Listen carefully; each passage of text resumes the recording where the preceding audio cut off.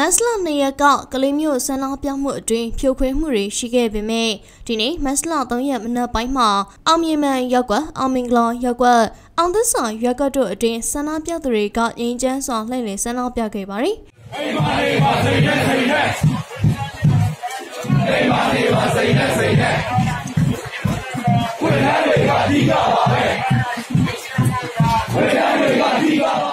ဒီနေ့မနက်ပိုင်းမှာရဲတပ်ဖွဲ့နဲ့တပ်မတော်ပါဝင်တဲ့တပ်ဖွဲ့ဝင်တွေဟာအင်အားအပြည့်နဲ့ကလေးမျိုးနှစ်ချောင်းလန်းဘေးနောက်လမ်းပေါ်တွင်လှည့်လည်ခဲ့ပြီးစီတန်းလှည့်လေတာဆန္ဒပြခြင်းများပြုလုပ်ပါကဖြိုခွင်းသွားမယ်လို့လိုက်လံကြေညာခဲ့ပါတယ်။စီတန်းလှည့်လို့ဒီကိုယ်တော်ဆန္ဒပြခြင်းများဖြစ်ပေါ်လာပါကဘုရားနဲ့ဖြိုခွဲသွားပြီဖြစ်ကြောင်းအတူပြီးကြေညာပါတယ်။